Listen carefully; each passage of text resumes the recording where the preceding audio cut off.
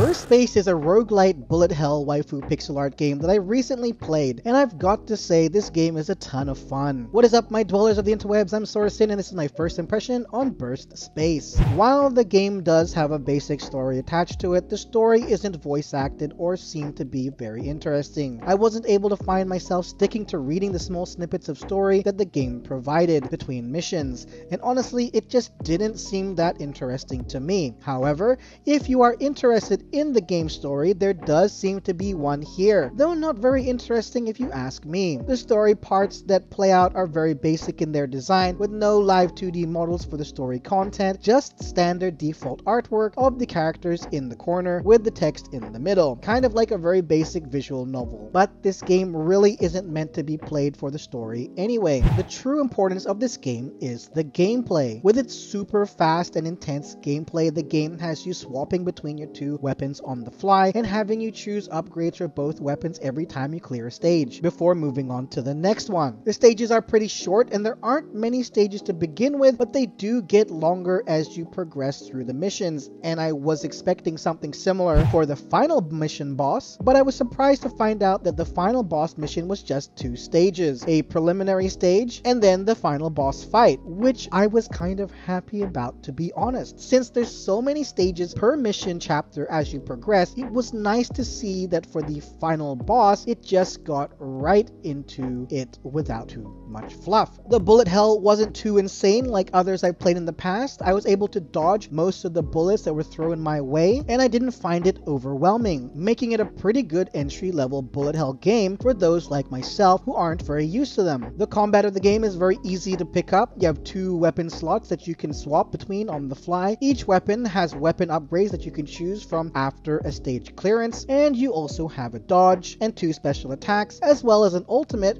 that gets unlocked before certain boss fights that seems to be a passive skill that will cast on its own. I found that pretty funny actually because one of the ultimates I unlocked was shooting the boss before the fight had even taken place. The boss introduction splash screen was displayed over the boss, and while that was happening, my passive ultimate was shooting the boss in the background, whittling down its shield before I even was able to control my character. Another neat feature was that you can transform into a different guardian when the ability charges, giving you a new skill to auto use when you transform and a boost. The combat of this game is just so much fun and might be one of the most fun roguelite bullet hell games I've played in a long time. There is even more modes you can unlock including a timed mission mode where if you complete the stage you get some pretty nice first clear items and you can even auto clear old boss fights which the game calls exploration for more items as well. Though this does cost your stamina so keep that in mind. The visuals of the game are fantastic too, with its gorgeous pixel art that is highly detailed, so that you can really tell the difference between what each Guardian looks like and the weapons, as well as just the overall look of the game. This is definitely a very good looking pixel art game. The audio is great too. Everything was punchy and had a good sound to it. Nothing sounded cheap or like it didn't belong, and I didn't notice any missing audio either. Everything sounded like it did belong and was of a high quality. Overall, I'd say that Burst Space is a super fun roguelite bullet hell game that I would